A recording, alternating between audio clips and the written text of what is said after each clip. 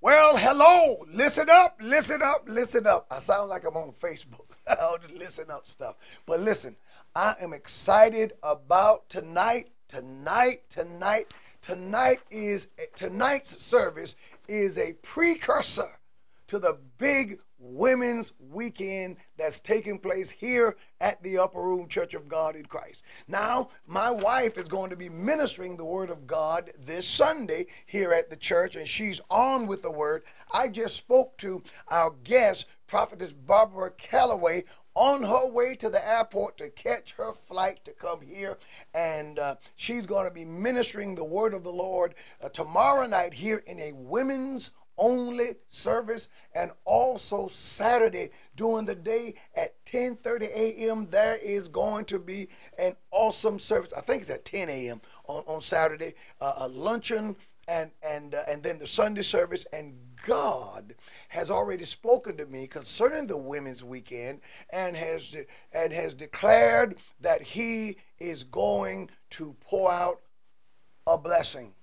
And this blessing is a powerful blessing that you don't want to miss. But tonight, uh, on last week, before I get to tonight, on last week, the Lord spoke to me and, and told me to preach the Sermon on the Mount. So last Thursday night's message, we, we began talking about that powerful, powerful message that our Lord delivered. It starts in Matthew's Gospel, chapter 5, and it, it, it concludes in Matthew's Gospel, chapter 7 a powerful sermon. But listen, the Lord spoke to me for uh, tonight and said, I want you to, we're going to do, we're going to resume the Sermon on the Mount the next time. But God has given me a message that is a precursor to the Women's Weekend.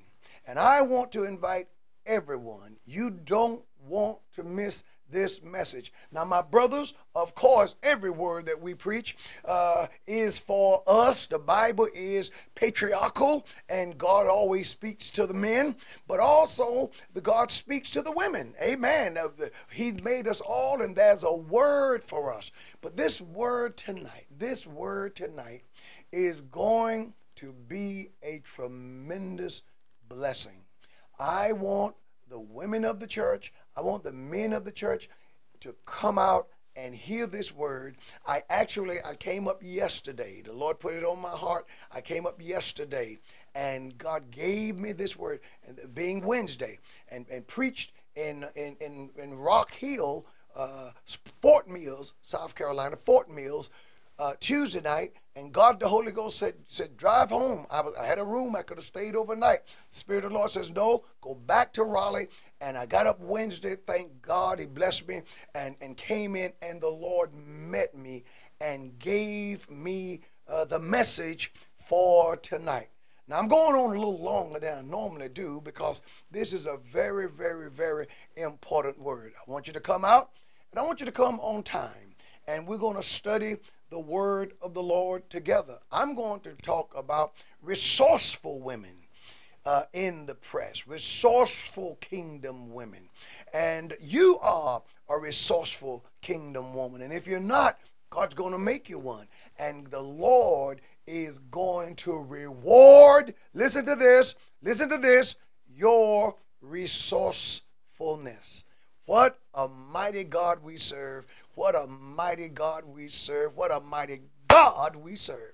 So I'll meet you here tonight at the upper room, Church of God in Christ. We are going to be walking in the Word. And by the way, those of you who were looking for us on Ustream last week, the error was not ours. That medium, Ustream, uh, uh, no longer exists. And uh, we are now going to be going live uh, on another, uh, in, in another way and uh, we will fill you in on that starting tonight, the Lord willing. God bless.